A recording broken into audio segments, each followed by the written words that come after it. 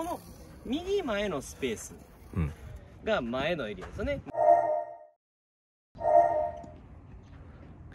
はいどうも魚ダブルスンキです。よろしくお願いします。気になるわ最初の今回なんですけど。気になるわ。さあ今回じゃないんですよ。さあ今回なんですけども。さあ今回まあまあまあどうぞじゃやっぱね顔芸とダンスは命ですからはい。あそそんなにかけてるんですね。はい、今回なんですけどもボレーをねちょっとやっていきたいなと思います。多分ね世のね、えー男性女性もうかなりもうもうめちゃめちゃ苦労してるんじゃないかなとうん。思うんですけども、はい。チャンスボール系のねまあハイボレー系やね。はいはいはい今回はいやろうかなとお思います。ハイボレーカットとかいろいろやったことがあるんですけども、まあ、チャンスボールもねあの12個やった1個かなやったことあると思うんですけど、どうやって力を伝えるのかっていうのをちょっと紹介したいなと。ありがとうございます。でまあ基本的にまあフォアがメインになると思うんですけどまあバックもね一応やろうと思うんで、はい。えーぜひ見てください。この動画がね良かったと思ったら高評価とチャンネル登録よろしくお願いします。そしたら見ていきましょう。本編スタートあもしもし？え？あボレーが好き。あ違う。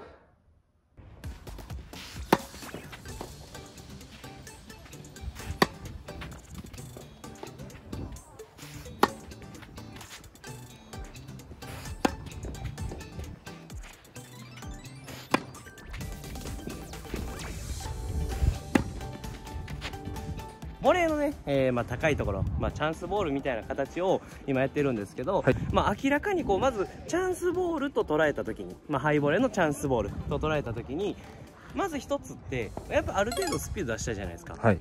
でそのある程度スピード出したいってなった時にまず皆さんどういう風に考えてますか。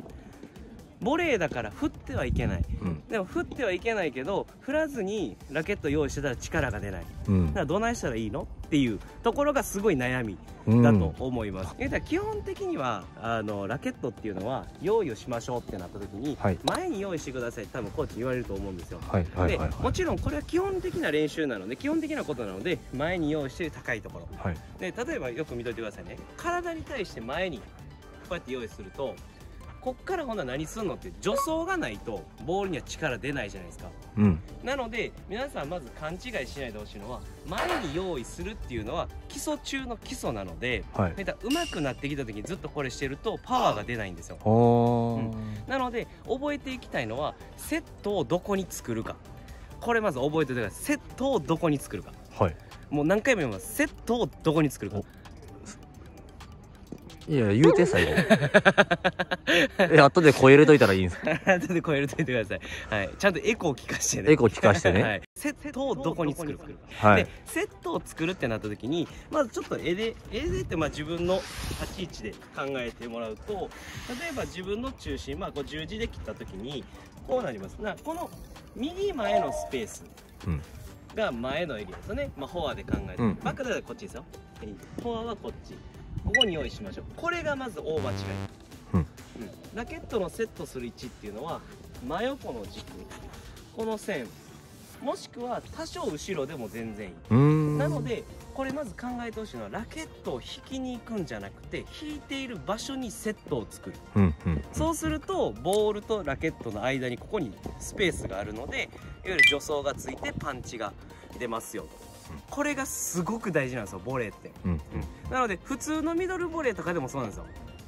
前で用意してくださいってみんなボレーの形こうなる人めちゃめちゃ多いんですよ。あなんかやったじゃないですかボレー戦で勝てない理由見えないとかねいろいろやったでしょ、はいはいはい。それと一緒でこうなってしまうと、うん。ここにラケット用意されるんで。ーうん。うんででこれ引いたらこう引くになっちゃうでしょ。はいはいはいはいこれじゃなくてここのここじゃなくてセットは簡単に言えば、えー右利きだったら右肩のところまでは全然引いていい。いわゆる引きに行きましたじゃなくてセットをここに作る。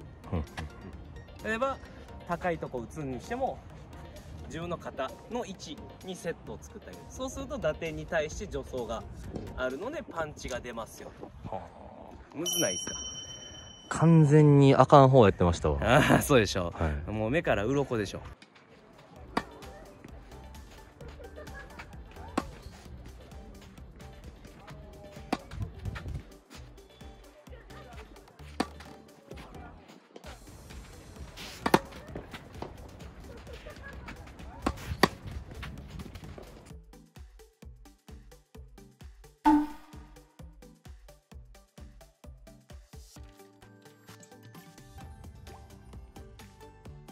で例えばバックの場合でも、えーなどこに用意するべきなのかって悩むと思います。例えば右利き僕らで右利きなので右肩のところで言えばこう前になっちゃうでしょ？うんうん。なので後ろの肩っていう風に覚えておいた方がいいと思います。だからフォアだったら後ろの肩こっちですね、うん。こういう形バックだったら左肩のところにセットを作ってあげる、うん。そうすることによって打点までの距離があるから助走が出てパンチが出ますよと。うんうん。これがめちゃ大事ですなるほはい。覚えておいてください皆さん。これ多分知らんというかえそうだったのっていう方めっちゃ多いと思いますよ。どいやいやはいはい。えはい。誰ですか？あなた。太郎です。太郎ですか？はい。そっち側です。そっち側の人間ですよね、はい。でまあ大体腰が引けてしまってでパワーが出なくて入るのは入るんですけどう、んうん。でもパンチが出ないんでなかなか決まりづらい、うんううん。ん。まあ多少相手のボールがね例えば勢いよく高いの飛んできたらそれでも抑えるだけでスピードって出るんですけど、うん。でふわっと浮いたボールなんか特にうんうん。もう絶対自分からパンチを出さないといけないのでそうなった時っていうのは助走がまず必要なので用意して引いて振るじゃなくてここまで引けるんだったらほな例えばもうセットしてる。ここに。ごめんなさい。ここにセットを作っている状態っていうのをイメージしてください。ここにセットを作っている。状態を作っておいてそこから入るとパンチが出るっていうのを覚えておいてください。